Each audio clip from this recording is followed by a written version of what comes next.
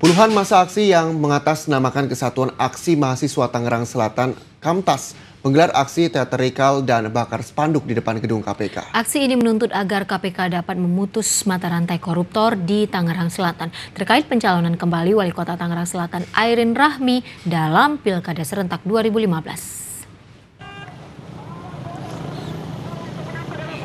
Puluhan masa aksi dari Kesatuan Aksi Mahasiswa Tangerang Selatan Kamtas Selasa petang kemarin memenuhi jalan raya yang berada di depan kantor pemberantasan korupsi KPK Kuningan Jakarta Selatan. Masa aksi yang sempat membuat kemacetan lalu lintas ini diawali dengan aksi teatrikal, orasi dan ditutup dengan aksi bakar spanduk.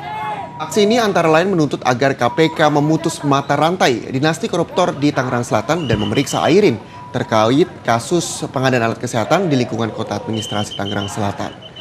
Wali Kota Tangerang Selatan, demisioner Airin Rahmi, yang juga merupakan adik ipar Gubernur Banten nonaktif Ratu Atut Hosia ini berencana memimpin kembali Tangerang Selatan untuk periode kedua kalinya melalui pilkada serentak yang akan digelar Desember mendatang.